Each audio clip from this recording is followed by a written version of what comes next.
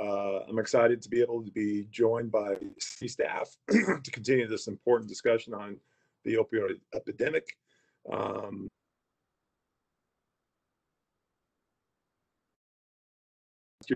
epidemic and uh, a little bit of the opioid uh, information and program in a backseat to deal with those concerns and uh, those situations. However, uh, going forward, we're starting to come out of the crisis. However, pandemic has not uh, been coming out of the crisis. In fact, it might have been uh, increasing um, throughout our time as we've been um, dealing with COVID. And if you can only imagine with the COVID crisis having a mental impact on people, um, there is a connection potential with opioids and uh, fentanyl and all those other resources.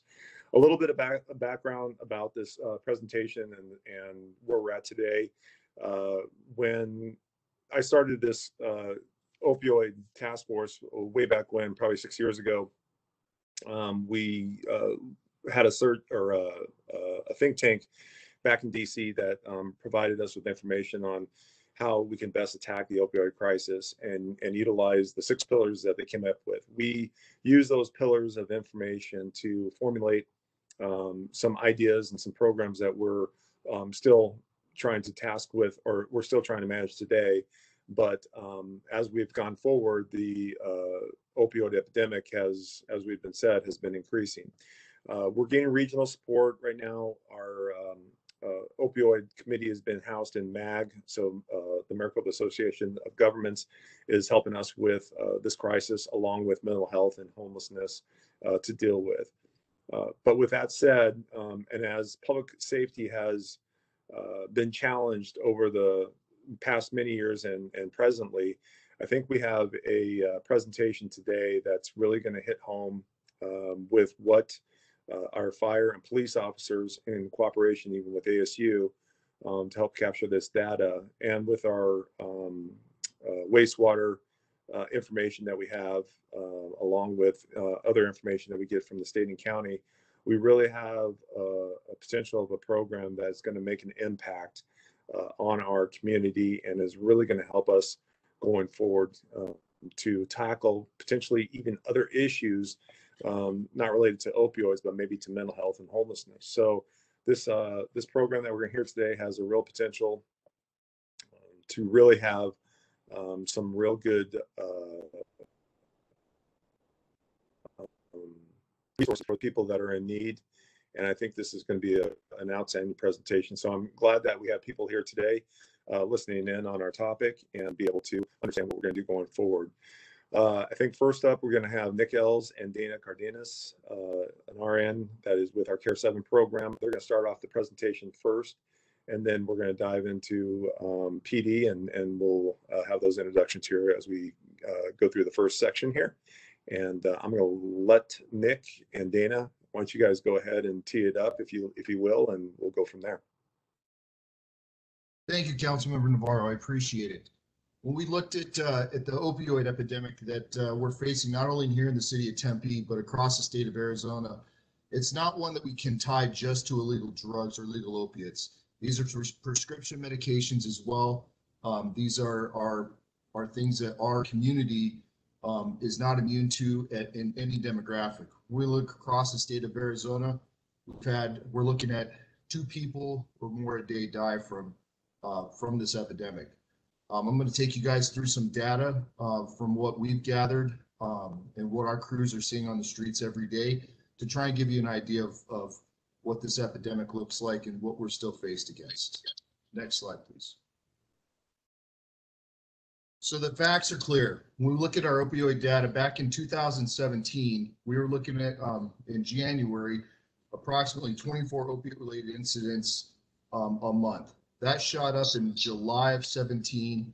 Uh, we did see a, a, a, small break in, in February of, of 2018 of only 16 incidents, but then we've been holding pretty steady around 50 incidents in around the summer of 2018. Um, and I want to, I want you guys to keep in mind when that number, where that number is and, and when it was, um, because we're going to show you direct correlation later on. Um, you know, through the pandemic, you can see that we have a rise in our opiate related or opioid related type incidents and overdoses all the way until uh, April. Uh, this last month, we saw a drastic increase to 63, which is the most that we've seen yet to date. Next slide.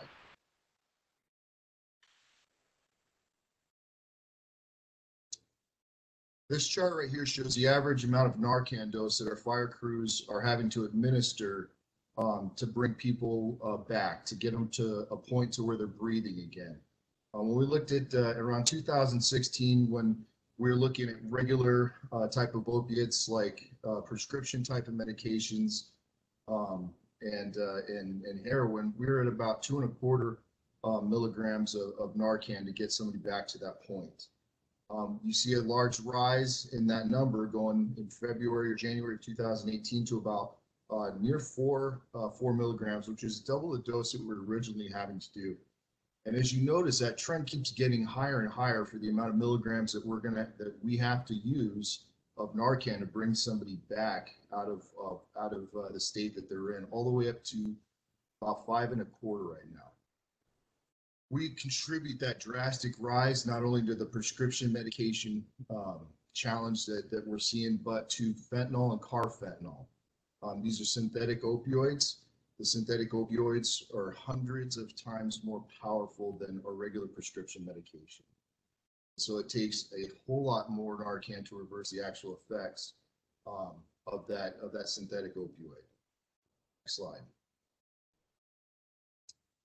We looked at the Arizona Public Health Association, you can see that uh, yellow line right there. That's our synthetic narcotics, our fentanyl, our carfentanil, um, and stuff like that. When you look at 2018, where our, our Arizona Opioid Epidemic Act was enacted, this is right in line with the trends that we're seeing on opioid doses and the amount of Narcan we're having to use. We're looking at in the in the community is a lot more synthetic opioid um, type of overdose incidents. Next slide. This graph right here shows the age groups in which we're actually looking at um, that are that are most susceptible to the the OP, sorry the, the overdose age groups um, that we're looking at for the the opioid overdoses. When we looked at 2016, it was uh, just over 50%.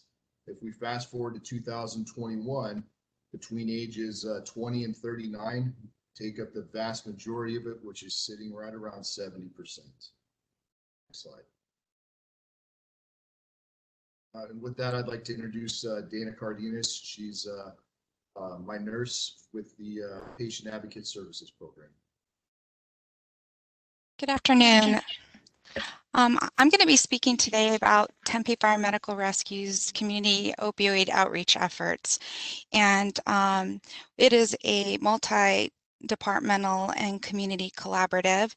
And with the Tempe um, Task Force, we have come together with Tempe Coalition, Care 7, Tempe PD, um, AZ National Guard, Not My Kid Foundation, and Community Bridges, just some of the community collaboratives and city um, departmental collaboratives that we have. And really the goal is outreach, education, and awareness to the entire community.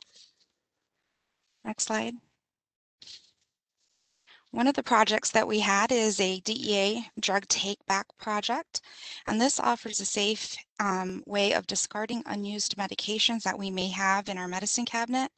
We had two very successful projects this year, one in January um, that we recovered 26 pounds of medication.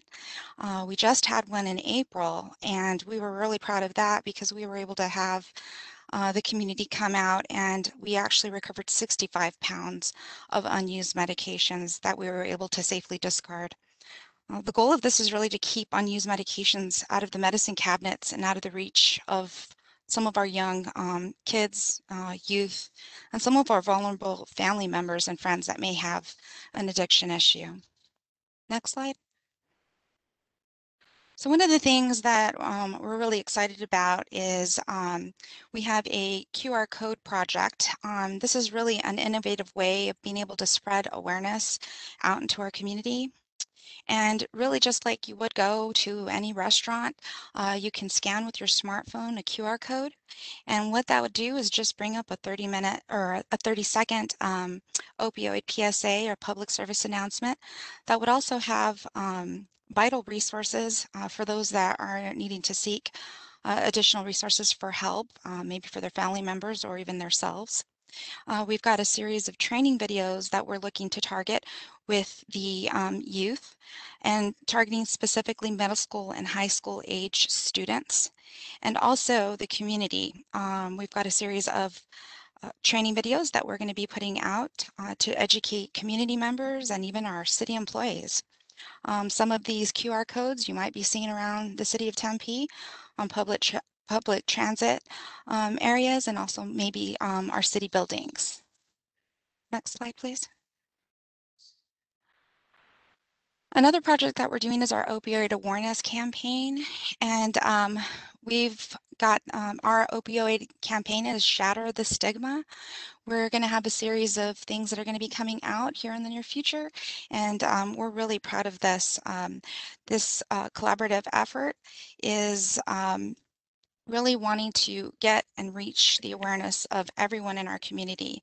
Um, it's not just a problem that affects low socioeconomic communities, but it affects everyone. It impacts all of our families, our schools, and all of our entire community.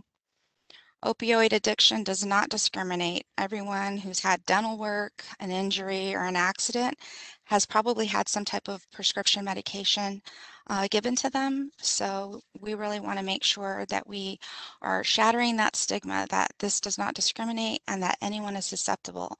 That's why we want to make sure that our outreach is to everyone in the community.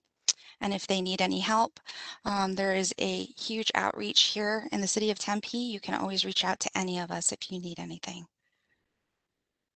Next slide.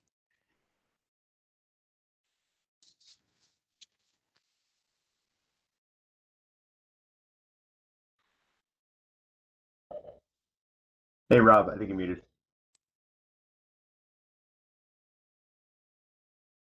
Of technology. Sorry about that. Um, I'll start over. So uh, my name is Rob Ferraro. I'm a sergeant with the Tempe Police Department. Um, seated with me is Erica Chestnut Ramirez. Uh, she is the regional vice president over EMPACT Suicide Prevention Center based here in Tempe. Uh, so one of my roles in the in the police department is overseeing uh, this project that we're about to present on the Tempe opioid uh, response project within the police department. And just to start off, admittedly so, I think the police department in Tempe uh, was a little bit slow in in rolling out Narcan uh, for officers, and uh, uh, departments across the country were were essentially arming their their officers with Narcan. Uh, with with these uh, nasal, if you can see these nasal spray Narcan, and so we wanted to be thoughtful and and have an a different type of rollout with Narcan that was more not only just equipping our officers with Narcan, but then also addressing a lot of the, the post crisis gap uh, that we were seeing. So, not just rolling up on scene, administering Narcan, and then the individual goes to the hospital and then walks out, um, but really trying to make sure that they're connected to resources out in the community uh, following that crisis. So this was an approach that was uh, presented to Tempe PD through our partner EMPACT, uh, and it was really uh, rooted in CIT. CIT is Crisis Intervention Team Training, and it's about um, having quick responses, no door responses for officers when they're trying to bring an individual to a behavioral health resource in the community that there's never a no answer for a police officer that they'll be able to do to get that individual to help and so this is the approach we really wanted to take and EMPACT um, has really helped to develop that uh, through the years of CIT training, providing mobile crisis response teams in the community. Uh, and so that's how we frame this around. So this was a, a two-year grant, uh, um, sorry, a four-year grant through uh, SAMHSA, federal agency. Uh, it was $2 million and it was going to be provide for one sworn position uh, in the police department. That's our, our Narcan officer who, who deals with the training aspect, ensuring that all of our officers have Narcan. And then two full-time positions from on the EMPACT side that was going to provide for post-crisis transition and that navigator. And we'll talk about that uh, briefly um, in the next few slides. And then ultimately, our last partner was Arizona State University, who's going to be conducting our evaluation on the project, see about how the success was, determining our were were we having successful outcomes, and then ultimately to model that potentially across the country in terms of other responses uh, in the community. Paul, you can go to the next slide, please. So this is how basically it works. Uh, so every single uh, uniformed officer in the city of Tempe is carrying two doses of nasal Narcan on them. We they have them in a pouch, and it goes on their outer carrier, and so they have it at all times. Um, if an officer administers Narcan in the field, they then going back to that CIT type response, ultimately will call a uh, call a hotline. Uh, it's uh, monitored by uh, EMPACT and uh, it's a 24/7 hotline. And ultimately, they just let them know the the operator know we administered Narcan. This is the individual. This is where they're going uh, to what hospital that they might be going to, and then ultimately um, some very brief questions like, so where are they currently, where they're going, uh, was there any safety concerns that they that they might have for if a navigator is going to go out and contact them. It had to be very quick. It had to be very seamless, or we or we knew that the cop potentially was not going to be doing it because we were going to create hurdles, and that's that's that CIT framework that we talked about. So it had to be fast. Uh, and then finally, the officer documents it on a, on a, on a pre-filled card. Again, going back to making it very simple and easy. Next slide, Paul. So this part is is mine. So as Rob said, my name is Erica Chestnut Ramirez, and I'm the regional vice president at EMPACT Suicide Prevention Center. So I oversee um, all of uh, logistics here at EMPACT. And uh, through this grant on our side, obviously, Rob mentioned that we have a 24/7 hotline. Uh, and so we already had the infrastructure to be able to um, do this and partake in this project. So on, on the EMPACT side, what happens is uh, the officer will then call our 24/7 hotline and the call taker will then dispatch um, one of our on-duty crisis peer specialists if, if it's during regular business hours, or they will call an on-call for after hours. And uh, that individual, excuse me, will be given the information related to where the uh, individual who has been administered Narcan is being transported. So then uh, that peer will then make contact with that individual uh, at the hospital, wherever that individual was transported, uh, within one hour. So we have a, a very short window. Um, in behavioral health, we talk about that as the, the window of insight for the individual. So sometimes, uh, you know, after an incident, there will be a moment of clarity where there's this idea of, I need to get help. There's something here that I need. And so it's really our goal to get out there during that window of insight to be able uh, to assist that individual. Um, we meet with them, we build that rapport with the individual. Uh, these peer specialists are actually individuals who have been through the behavioral health system or they have been through substance abuse treatment themselves. So there is a special bond um, that often occurs between that individual and the person who is uh, needing assistance. So they use that time to build rapport. They also um, talk about resources. They give them um, community Narcan, so they can give they can meet with the families and give the family a Narcan kit as well, so that if something ever happens in the future where there is another overdose, the family is also armed to be able to administer that. Um, so they're given Narcan, and then um, we also gain our, our, release of information from that individual so that we can make appropriate referrals um, to other services.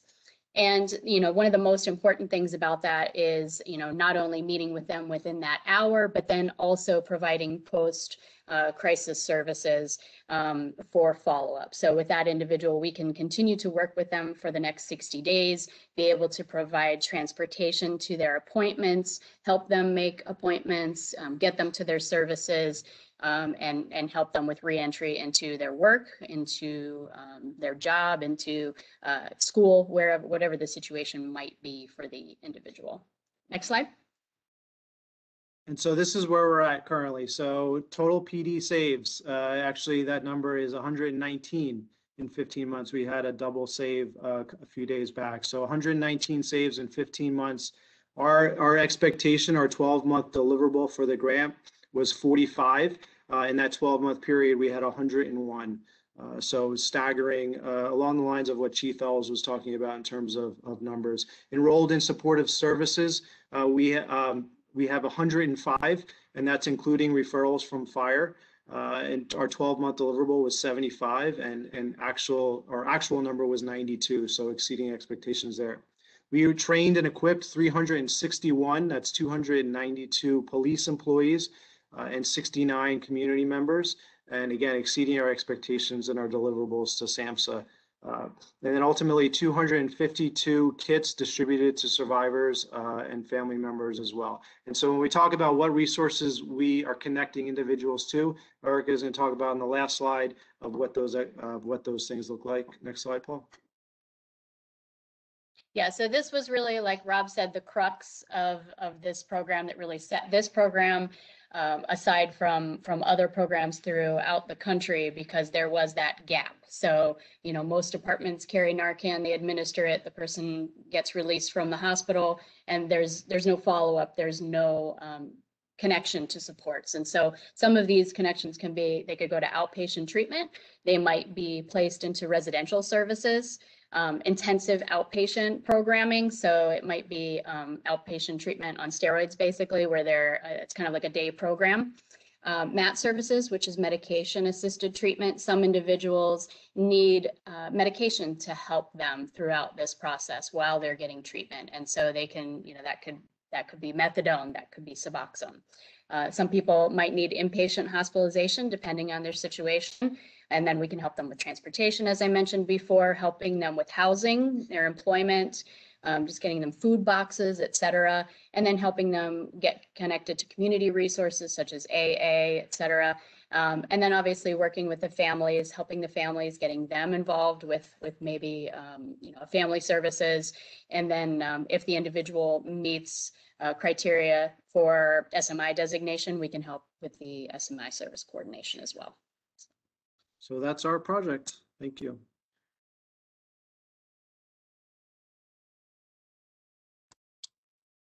Thank you, Thank Rob. you. Thank you. Um, Yeah, you know, this is great. Uh, do we have any, Tim, are we waiting on Paul or anybody from community services presenting or are we? Yeah, Cool. Paul Bentley's up next.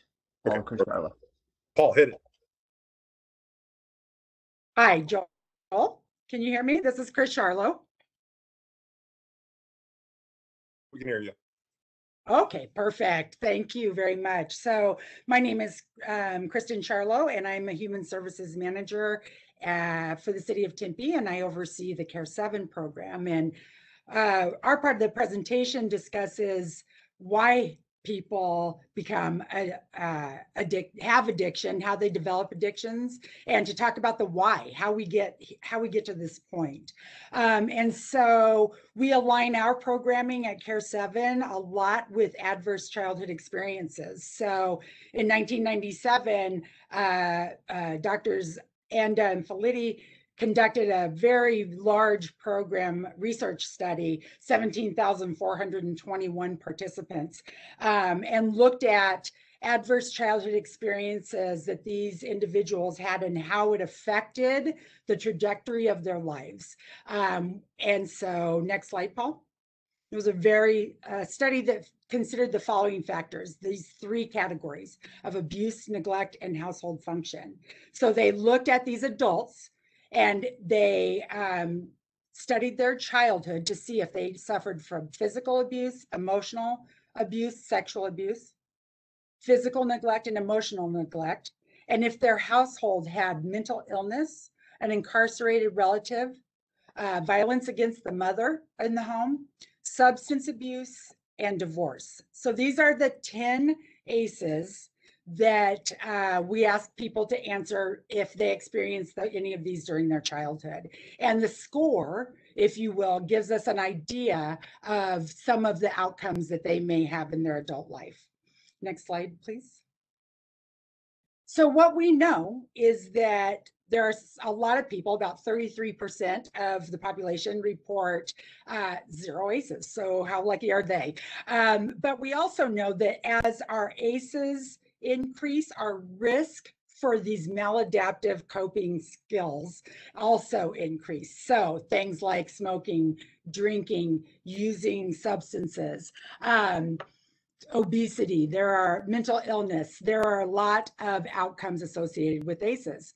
So when we look at the chart, we can see that when you have experienced zero adverse childhood experiences, uh, you have about a one in 69 chance of becoming an alcoholic.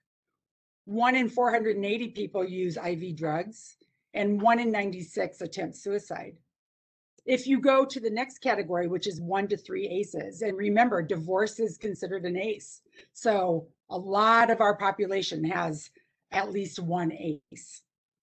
We see that the, the, the maladaptive behaviors really increase. Now we're to one in nine as an alcoholic, one in 43 using IV drugs, and one in 10 attempt suicide.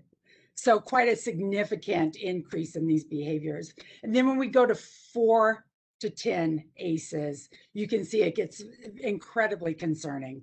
One in six is an alcoholic, one in 30 uses IV drugs, and one in five attempts suicide. So really, uh, what we also know about ACEs is that they occur in groups. They're very common to have an ACE as a child, have an adverse childhood experience is incredibly common, and they're usually grouped. If you experience one, you usually experience several others.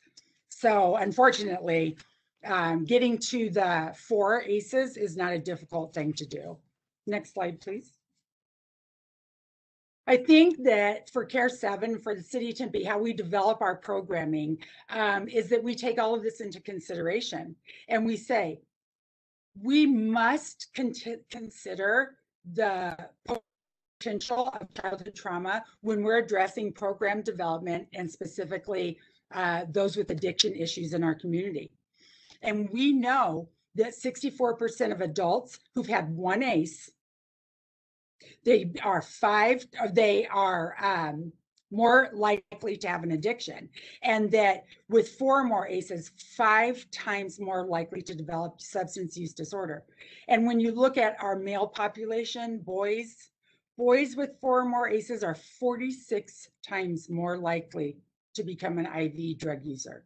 46 more time, 46 uh, times more likely. And that's concerning. Next slide, please, Paul. So what do we do about it?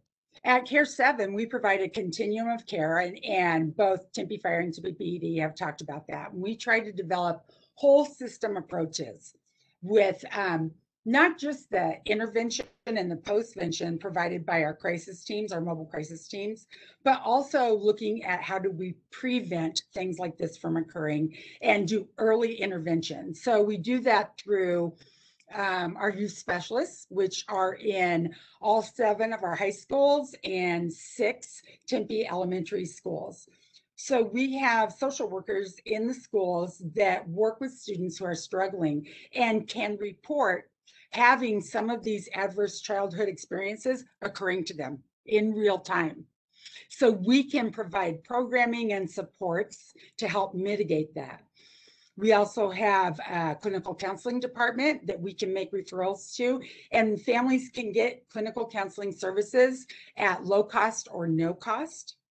We have, as I said, um, the 24 hour, seven day a week uh, mobile crisis teams. We have victim services, and our newest venture uh, starting in July will be a new unit dedicated to mental health issues in the community. So all of us working together um, can help to identify as early as possible community members who are experiencing ACEs or are at the very beginning of their substance use, and we can help uh, intervene and support them so that we don't get to the point where they've lost their job, they've lost their home, they're now homeless, they may be on the street. They're having problems with relationships, no longer um, integrated with their family.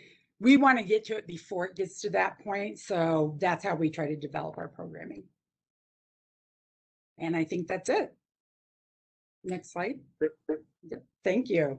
Kristen, outstanding. Thank you, guys. Yes. Okay, right now, we're gonna go ahead and take some questions. And if there's anybody out there that has a questions that either send them in, Tim, I don't know if you can read, read some off the uh, panelists, um, feel free to. Yeah, but to uh, chime in. yeah, Rob Ferraro's been answering the questions inside the chat. or Inside the Okay. Q&A. Um, Rob, do you want to share a, a few of them, just so, uh, you got a taste of what's going on, and I'll kind of wrap it up with some other things? Uh, the questions? Yeah. Is that, okay, so one of the, one of the questions was, uh, uh, on the Good Samaritan law. Uh, are our, are our officers being trained on the Good Samaritan law? And essentially what that's referencing is, uh, if a community member or family friend uses, uh, Narcan on an individual, um, and there's drugs in the household, you know, are we then going in and, and making arrests based off of that? Because normally if we're in, you know, in a, in, in a situation where there's illegal activity going on, we're going to be uh, investigating that. And so with this, uh, uh, uh, we, we do, um, we, in our, in our education for our cops, when we do our initial training, we have a slide in there that, that speaks to the Good Samaritan law.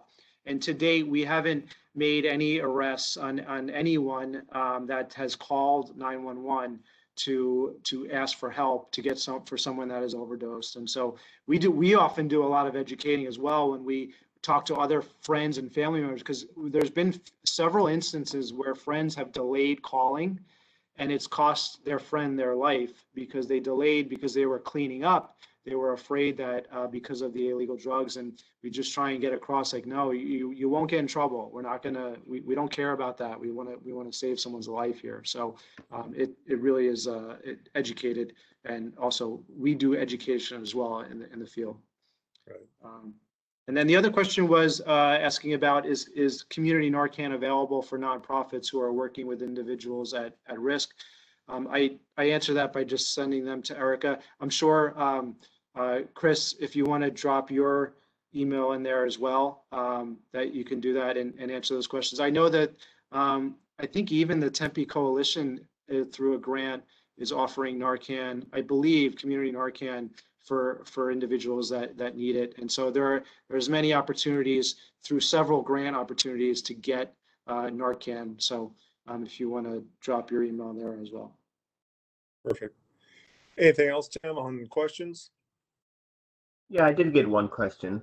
Um, are homeless persons able to utilize the new mental health issues? And that's for Chris Charlo.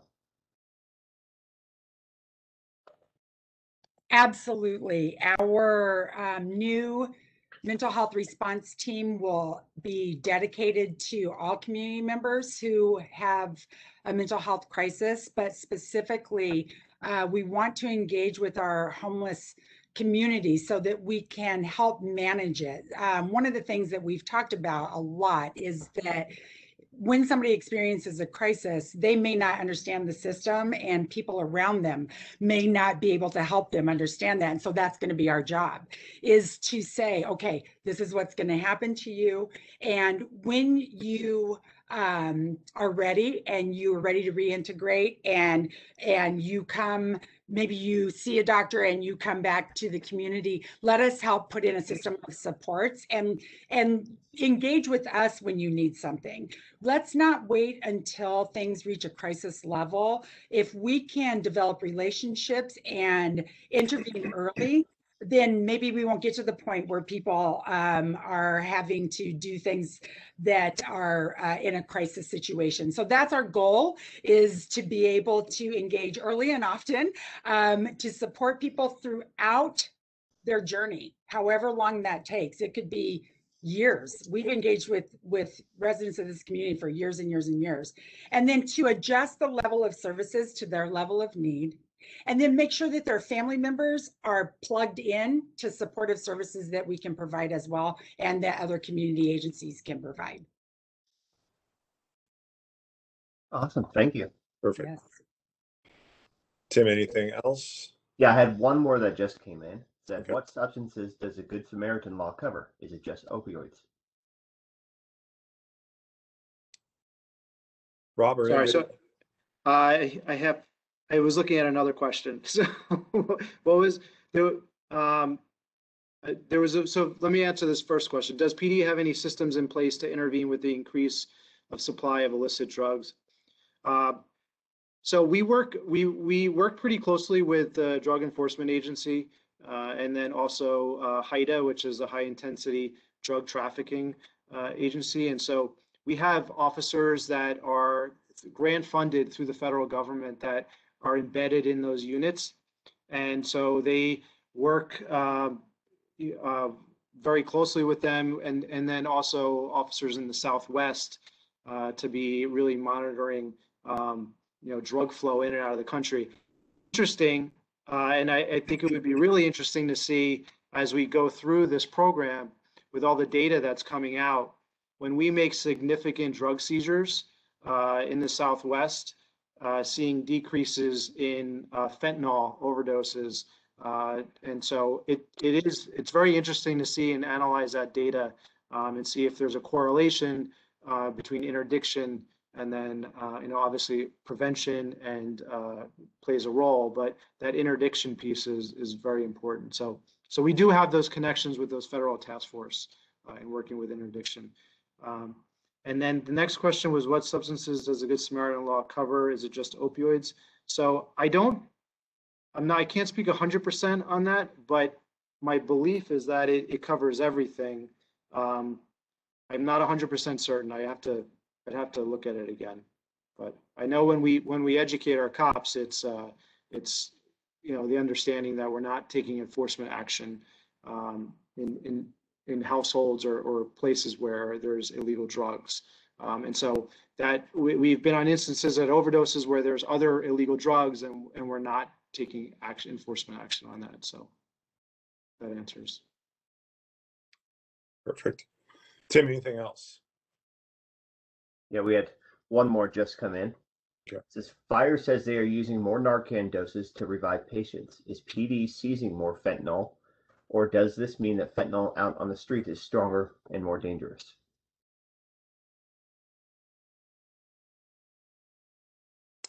Uh, From the PD side, we are seizing more fentanyl. We're also, we're also seeing a lot more of uh, individuals who had no intention of using heroin or fentanyl and are using other illegal drugs that happen to be cut with fentanyl. And um, so we're seeing, we're seeing a lot more of that. Um, and so that goes back to the education piece of, uh, you know, about fentanyl and, and what, what drugs are being cut with other drugs. Um, and so from a PD standpoint, yes, we are seeing a, I don't have it, um, on other presentations, we have our seizures in fentanyl and it's skyrocketing, um, I guess is the term. Interesting.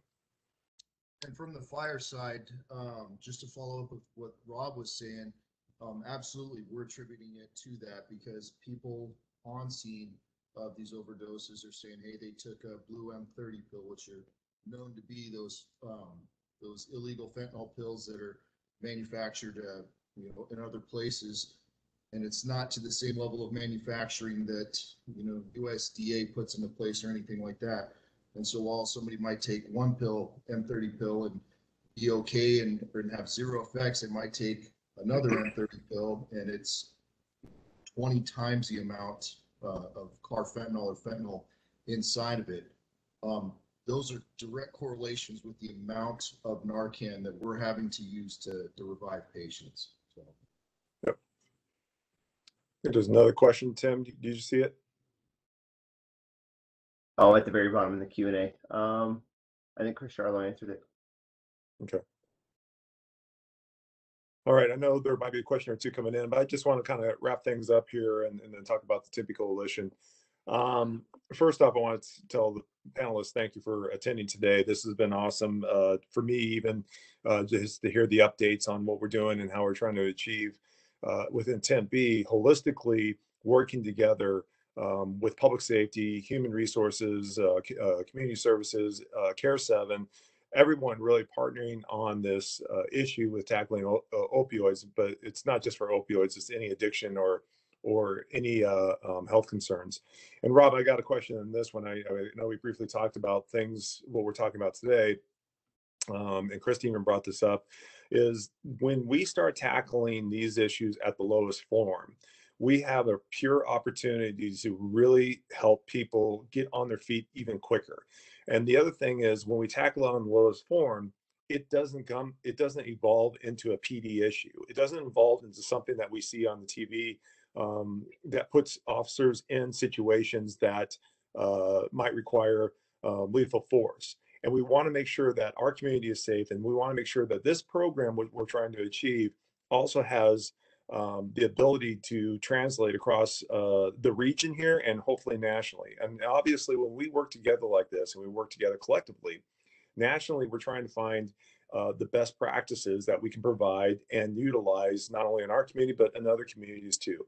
For me, as a council member, this is great information because when I go back to places like National League of Cities, and when this issue continuously comes up along with mental health and homelessness, um, there is a plan. We are we are testing out plans within our community. We're working together um, collectively, not just PD and fire and community services separately, but collectively together um, to make sure that the transition is smooth.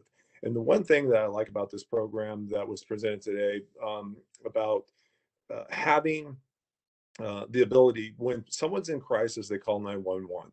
That is our true opportunity to make an impression to help an individual get the help that is needed.